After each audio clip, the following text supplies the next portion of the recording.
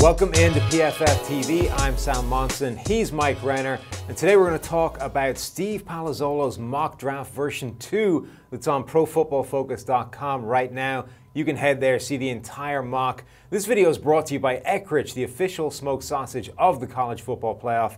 Mike, the thing we want to break down here is just this defensive line class. It's an incredible class deep on both edge rushers and defensive interiors. Let's start with the edge rushers because that has the highlight reel name in there. It's Nick Bosa, arguably the best player in the entire draft right now. Yeah, Nick Bosa is, in my opinion, the best defensive lineman in the entire country, even though obviously out with the injury, not going to play the rest of his season here at Ohio State. But we've seen enough from him in that limited sample size that I'm pretty sure he's going to be pretty darn good.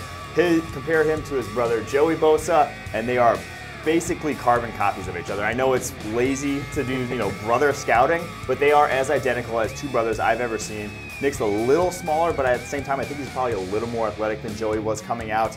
As a pass rusher, he has the highest win rate of any player in the nation this year, highest win rate of any player in the nation last year. Pretty comfortable saying he should be the number one overall pick if you don't need a quarterback. Right, and like his brother, he's been crushing the PFF grading system all the way throughout his college career. And the important thing there is we saw just how automatically that translated when yes. Joey Bosa hit the NFL and just picked up the way he left off in college. What about some of these other guys, Mike? Who else should we be keeping an eye out on the edge rusher? Yeah, there are a handful of interesting names. The first guy I want to start off with is Brian Burns from Florida State. We highlighted him before the year as a guy who looked the part as an athlete, but hadn't quite looked the part in terms of grading, hadn't quite produced. That's changed this year. 52 pressures. He leads the nation.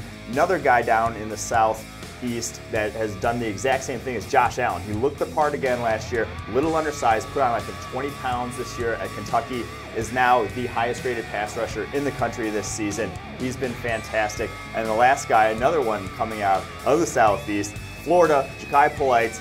He has jumped, came basically out of nowhere to put himself on the map. Extremely explosive, still fairly raw, but he has as much raw tools as any pass rusher in this class. What about moving to the big guys in the middle, Mike? Because this looks like it has the makings of a really spectacular class uh, for interior defensive linemen. There's some absolute monsters currently playing their trade looking for the draft. Yeah, I've done our defensive line scouting for a handful of years now. This is by far the deepest D line class that I've seen. If you are in the need for help along that front, this is the year to go address it. Like I said, there are 11 guys we have in the first round of our mock, and that's not even counting guys like Christian Wilkins, Raekwon Davis, or Clelin Ferrell, who might actually end up there when it's all said and done. So the guys we like at the top, Ed Oliver gets all the hype, but we're not as high on him as some other people. We actually have Quinnen Williams out of Alabama as our top interior player. Love his versatility, can play up and down the line. So he plays one tech at Alabama right now, could play three tech in your defense.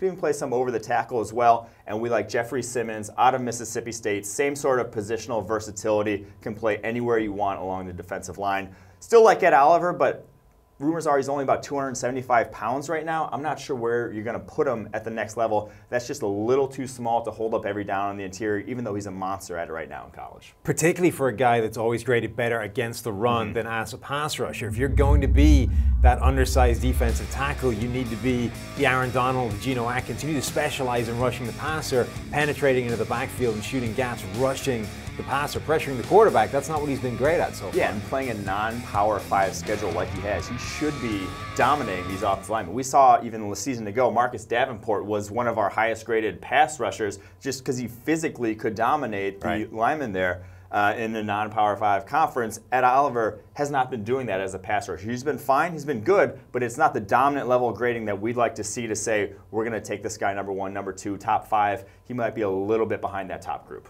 Who else we got to look at, Mike? Let's bring us on home with these defensive interior guys. Yeah, three more guys we have in the first round in the interior. Dexter Lawrence, the only Clemson D lineman that have hyped up Clemson D lineman. He's the only one we like out of the group. Nose tackle, extremely athletic for a nose tackle, the type of guy who we think could actually affect at the nose as a pass rusher as well as a run stuffer. Like him a lot. And then two sort of three techs that have come onto the scene this year with very strong pass rushing grades. Dre'Mont Jones out of Ohio State was great in a limited sample size a season ago. He's played more snaps and been more productive this season. And then Jerry Tillery has always been a guy who had the talent, 6'6", very long arms, physically imposing. He's now starting to put together a stable of pass rushing moves, use that length to his advantage. He's starting to creep up draft boards. Yeah, Tillery was an absolute monster in the Notre Dame game I graded earlier this year. Absolutely spectacular in that game. That's going to do it for our breakdown of the defensive linemen in Steve Palazzolo's mock draft version 2. You can hit the whole thing on the website, profootballfocus.com. This video has been brought to you by Eckrich. Don't forget to pick up your Eckrich smoked sausage at your local grocery store for this weekend's tailgate or homegate party. And make sure to visit EckrichFootball.com for great game day recipes and to enter the season long Million Dollar Challenge.